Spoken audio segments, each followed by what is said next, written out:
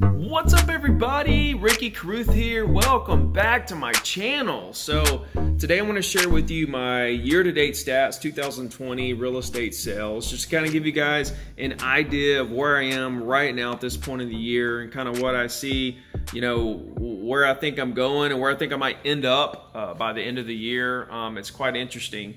And also just to let you know, here I am in my garage again uh, doing a video, but uh, I've been waiting on these wall acoustics to come to my new studio that's inside my house, my new house, and just shipping has been completely messed up um, since all this started. So I'm still waiting on those, but once I do, I promise you guys, I'm gonna have some super high quality videos, so be on the lookout for that. So I want to get into these numbers really quickly. Also let you know that tomorrow I'm going to be doing live cold calls with Steven Martinez out of Orlando. We're going to be doing for sale by owners. He's going to be calling. I'm going to be coaching him through it. Um, this guy's a character. You're not going to want to miss that. So I want to put a link in the description for that. That's on my second channel. I named it the Ricky Carruth Show, the second channel. And also next Thursday, next Thursday, 4 p.m. Central, I'm going to personally be making cold calls. So I'm going to be circle prospecting next Thursday on that same channel. So be sure to subscribe to the second channel and tune in because there's a lot of value uh, in those sessions. I'm also doing live interviews from that channel and I'm answering any questions that you guys might have. And also just to let you know, if you haven't already signed up for the absolutely completely free real estate coaching program, that's at zero to diamond.com. I'll put a link in the description for that as well. So let's get into these numbers.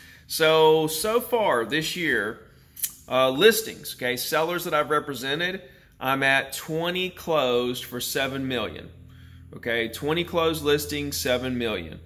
All right, seven, seven of those closings came after the mid-March shutdown. Okay, after the shutdown happened, I closed seven more listings. Okay, buyers, I've represented seven buyers so far this year. Five were closed after the shutdown. Okay, so those seven that I've closed is 4 million. So I'm right at 11 million closed. Okay, 11 million closed. Um, that's going to be 27 deals.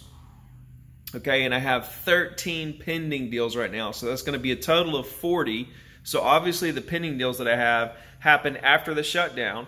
So I've also uh, listed and sold since the since the shutdown. A couple. I don't. I didn't have those numbers right here, but I think there were two that actually listed, got contract, and already closed since the shutdown happened, and then 13 more pending. So it's about 15 that I've sold, if you if you want to call it that. You know, two closed, uh, 13 more pending since the shutdown started. Okay, those 12 pending deals that I have come out to five million dollars. So I'm looking at about 40 deals and 16 million. That's where I'll probably end up about at the half of the year mark. However, there's still another week or two here in May, and I'll probably get a couple cash deals in June.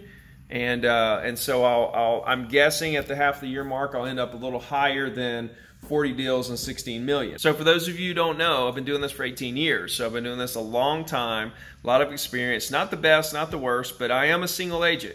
I do all this volume on my own. I go to every closing, every listing appointment, I show every buyer, and I go to all the inspections that clients are gonna be at. So I've been doing 100 deals a year since 2014, okay? Every year since 2014, 100, 100, 100, 100. And what do I think is gonna happen this year? I think that I'm going to hit it again. I feel like I'm really on track to hit it once again. I'm a little shy this first half of the year. It looks like it could be right under 50. Um, but I think I'll make up for that in the bottom half because the market has really, really picked up in the last week.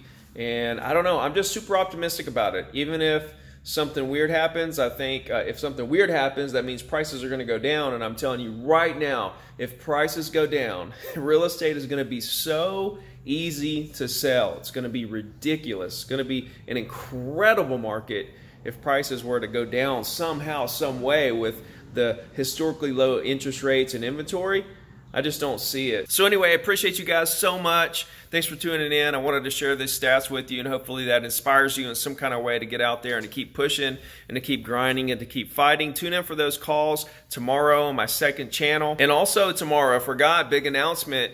NAR's is going to come out with their, their home sales, their April home sales index.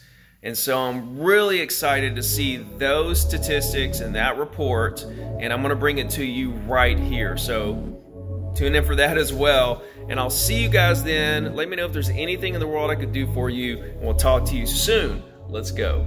thinking, need a for the ideas. I'm in the splash zone with the brain waves. I shoot for stars up in straight. I lay in the sand, line in the